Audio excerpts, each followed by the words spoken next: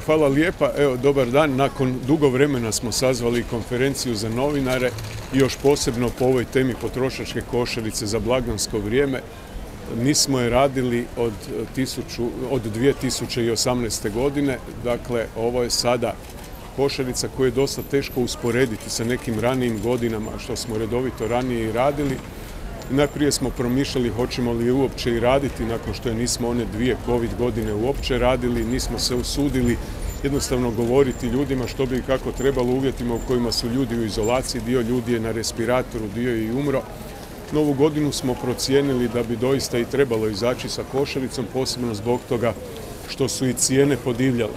Svi skupa znamo i bilježimo ovaj vrtoglavi rast cijena, Činjenica je da recimo Hrvatska ima svoje cijene hrane negdje između 96 i 97% prosječne cijene hrane u Europskoj uniji, a da su nam plaće recimo negdje jednu trećinu razvijenijih europskih zemalja, možda i niže. Ono što se dodatno pokazuje u Hrvatskoj to je da dok primjerice u zadnjih šest mjeseci cijene hrane u svijetu polako, ali sigurno padaju i spuštaju se, dotle istovremeno u Hrvatskoj one iz mjeseca u mjesec neprekidno rastu. Tako da i prema zadnjem podatku o inflaciji i o rastu cijena hrane vidi se da sa jedne strane inflacija iznosi 13,5%, a s druge strane cijene hrane su rasle za nešto više od 19, točnije 19,2%. Dakle, u tim uvjetima je jasno da kad hrana uzima i toliko visok udio u mjesečnoj potrošnji kućanstva. Ona je prosječno nešto malko manja od 26% u mjesečnoj potrošnji i to kod prosječnog kućanstva, prosječna potrošnja, što onda znači za sva ona kućanstva kojima je prihod niži od prosjeka.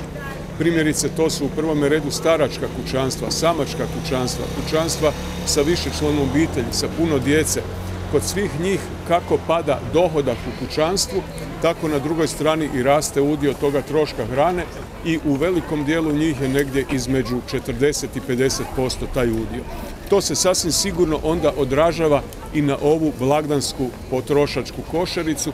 Mi tradicionalno radimo tri košarice. Radimo onu koja je optimalna, koja je jedina prava, radimo neku srednju i radimo onu minimalnu.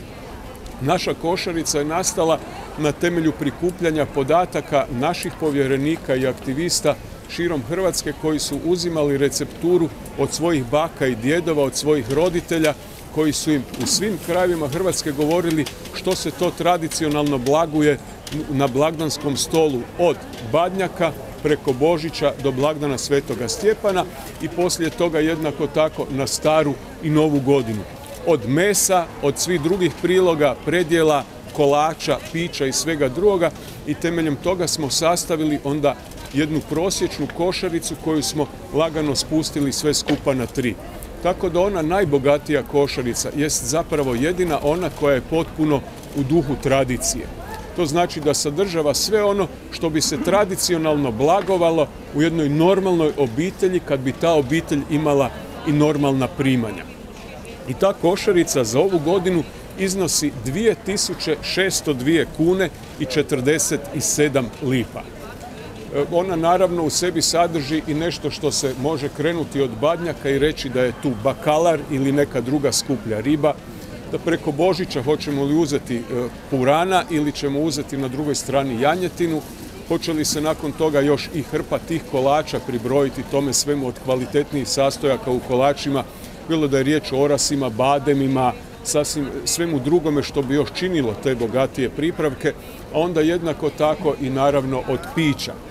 Na drugoj strani kad idemo prema novoj godini opet od one ne znam tradicionalne sarme koja je kod nekih tek nešto što je usputno, ali pri tome je opet pitanje odojka ili pitanje janjetine nanovo ili neke druge hrane, opet obilato priloga, salata, kolača i svega drugoga.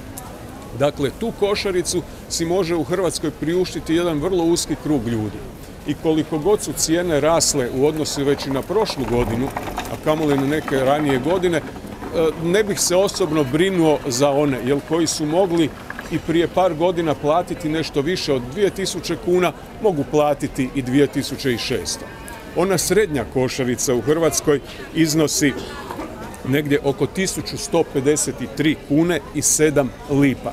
ona je već ustupak, ona se već spušta prema jeftinijim vrstama ribe, ako ćemo od badnjaka, jednako tako i prema nekoj drugoj jeftinijoj hrani, još uvijek ne jeftinoj, i tu smo malo išli i u smanjenje normativa. I na kraju krajeva dolazimo do one najskromnije košarice koja iznosi 680 kuna i 17 lipa. Ona je doista ono najskromnije što se zapravo može uzeti za obilježavanje ovih pet dana. Činjenica je da su se tu normativi drastično smanjili, da se odustalo od cijelog niza dodataka koji se nađu na blagdanskome stolu i da smo pri tome ove godine još osim onih akcijskih cijena zbog kojih i radimo ovu košaricu tek uvijek u ovih par dana prije blagdana, da smo još uzeli i neke od ovih cijena koje su kontrolirane od strane vlade, tako da primjerice idemo i od mlijeka u onoj kontroliranoj cijeni, jednako tako od brašna, ali isto tako i od pileta za one koji će si moći priuštiti jedino pile na taj blagdan da smo još i tu uzeli nekakve prosječne cijene, vjerojatno bi te košarice još više rasle. Međutim, ono što je suština problema to je da kad je riječ i o ovoj najskromnijoj košarici, tu smo u odnosu i na e, nekakve ranije normative morali raditi još nekakve dodatne ustupke, još smo je morali malo iščistiti da ipak taj rast ne bi bio toliko velik. Jer nekome ko ima problema sa preživljavanjem, nekome ko ima problema tijekom cijeloga mjeseca prikupiti sredstva za pokriće svojih troškova, njemu je naravno i ovaj trošak blagdana izuzetno veliki udar, pogotovo nekome ko je doista siromašan, a još pri tome recimo i bolestan. Tako da u tim varijantama smo gledajući upravo na košaricu, koju? Košaricu za tročlanu obitelj. Mi već više od 12-13 godina možda možemo govoriti jedino u Hrvatskoj o prosječnoj obitelji koja već odavno nije četveročlana. Ona je tročlana, čak nešto malo ispod tročlane.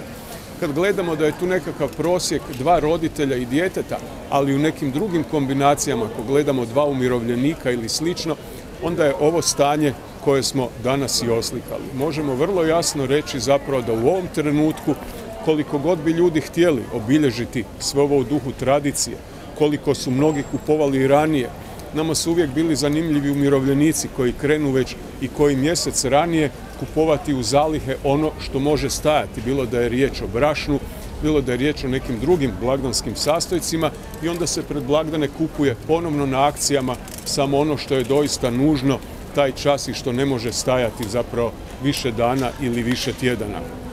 U svemu tome skupa vrlo je jasno da ovaj Božić, ovu novu godinu dočekujemo u izuzetno teškoj situaciji što se tiče kućnog proračuna, da je on izuzetno opterećen i da su ovi blagdani za njega sasvim sigurno dodatno opterećenje i da mnogi ljudi u Hrvatskoj si neće moći vjerojatno priuštiti niti ovaj trošak od ove najskromnije košarice koja je nešto niža od tih 700 kuna.